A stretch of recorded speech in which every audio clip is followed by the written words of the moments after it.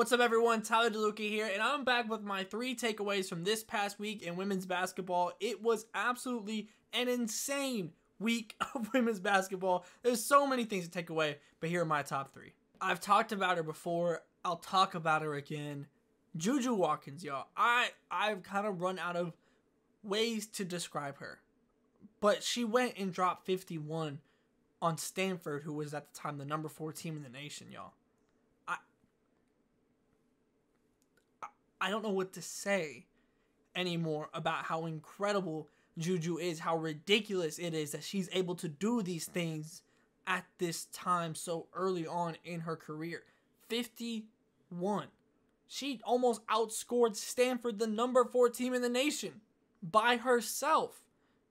And she's still playing defense while doing it. It's like if someone said, okay, here's a lab. You can change anything you want. Build a perfect basketball player.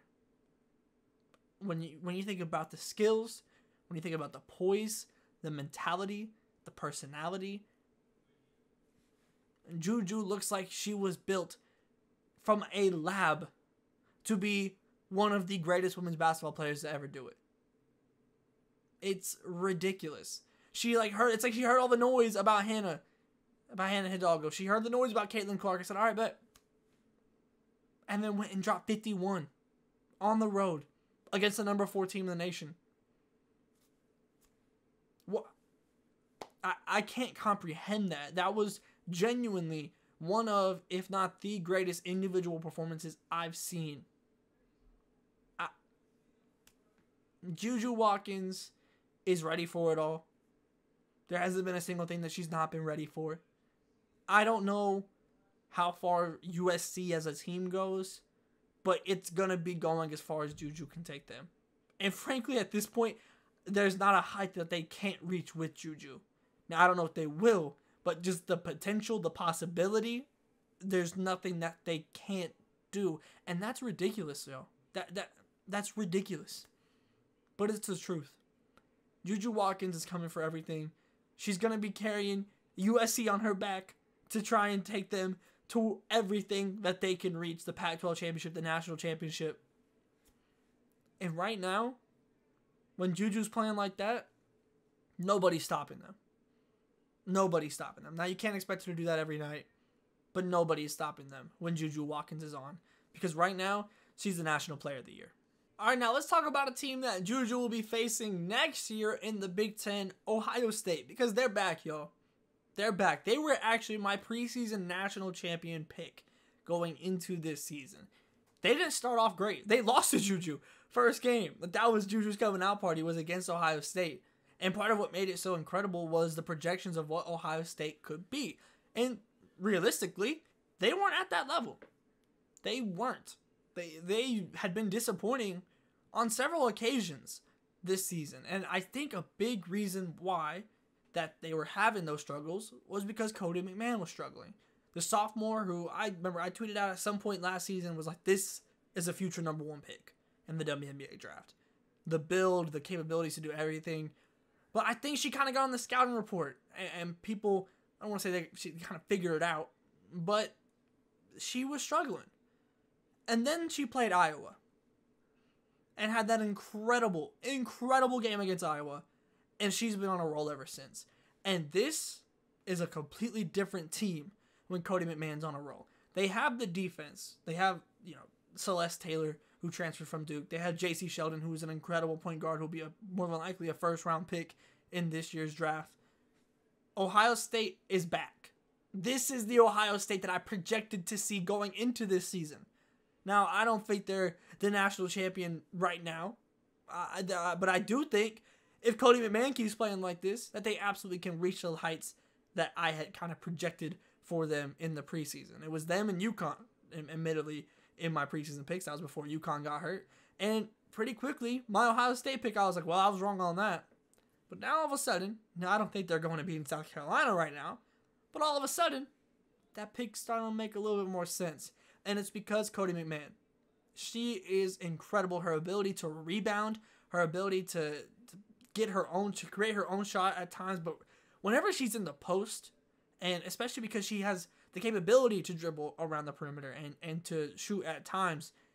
They often oftentimes the mismatch there is amazing for Ohio State and for Cotie McMahon. So whenever you kind of get her into that high post elbow extended area, she can work because she can rip through and get to the lane. She can back you down. Cotie McMahon is an incredible player. I was disappointed, honestly, earlier in this season, but just because my expectations were so high, and now she's at those expectations. She has the capability to be a top lottery pick when it's her time comes in the WNBA draft. And I think we're seeing that development now. And with that development, Ohio State's now back up into the top five, which they were very far away from at times during the season, especially earlier on. And they look like a top five team. I, I genuinely believe this is the team that I was like, this team could go win the national championship. Because they're built on defense, they have star players, they have floor spacing, they can do it. I trust a team like Ohio State. They have plenty of problems still to figure out. So I, am not saying I trust them all the way to the extent that I had put, put kind of projected earlier in the season, but they're making their way there.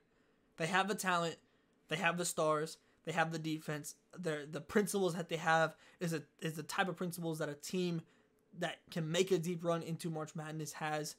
I'm very excited to see them and especially Cotie McMahon really piecing it together, and that's one of my biggest takeaways from this past week. I'm not gonna lie to y'all. I've been waiting for this moment. You can tell you got the logos back here. You can tell where I'm from, what school I went to. And y'all, it's time to talk about the number 24th ranked Oklahoma Sooners because they've been on a roll. This season started off incredibly shaky in the non con. Four losses, including double digit losses, two double digit losses to, to Princeton and to UNLV. They lost to a 1 in 9 Southern at the time at home. Not a great non conference. And the other loss was to Tennessee.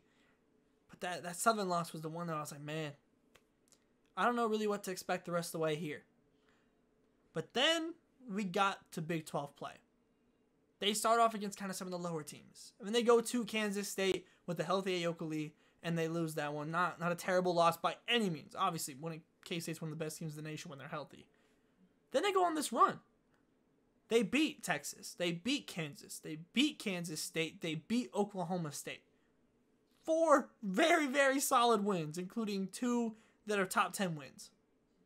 And now all of a sudden, Oklahoma's back in the rankings. Now all of a sudden, they're at the top of the Big 12. The the team that we saw lose those games in the non-conference is not the same team that we are seeing now. This team, it, it's hard to kind of quantify exactly. Yes, you're having phenomenal performances from Skylar Vann, who just won Big 12 Player of the Week last week. You're, you're seeing Peyton Verhulst put up nearly triple doubles against Oklahoma State. Those performances are there, but it's what you can't really quantify that's standing out to me because now more than ever, they seem very connected. And what I mean by connected is that everyone's moving in the same way. On defense, the feet are moving the ball, like it's rotating, the passes are much better, the turnovers are down. Everything is just clicking right now for Oklahoma. And with the offensive firepower that they have, now that they're mixing in the reduced turnovers. Now that they're mixing in the increase on the defensive end compared to earlier times in the season. This team is dangerous, y'all. They beat yes, they beat Kansas State without a Ayoka Lee, but that's still a very very good Kansas State team. That's still a team in Texas that is very very good that they went on the road and beat.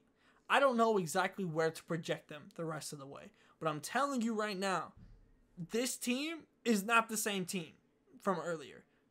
I'm I'm feel much more comfortable at this point judging them off their Big 12 record than their overall record because they are absolutely cooking right now. And for me, it's a great time to be here in Oklahoma. All right, y'all, that's going to do it for my top three takeaways from this past week in women's basketball. Let me know what you think or if you have any takeaways of your own, and I'll see you next time.